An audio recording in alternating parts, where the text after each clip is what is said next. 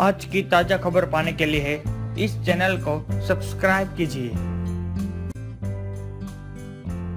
भारतीय under 19 cricket team में एक ऐसा खिलाड़ी भी है, जिसका अंडर 19 विश्व कप का सफ़र पहले मैच में खत्म हो गया होता।